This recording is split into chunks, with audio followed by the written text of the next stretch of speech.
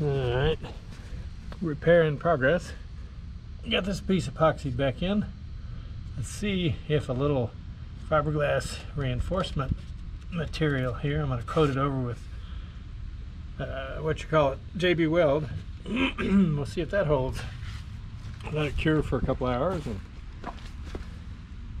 yeah, well, you know, you never know. Turn it on, this will just blow out again and you know, we'll be screwed, but that's the way stuff like this always goes.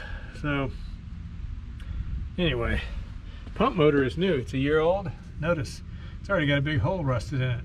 This is some kind of Chinese junk that you can get.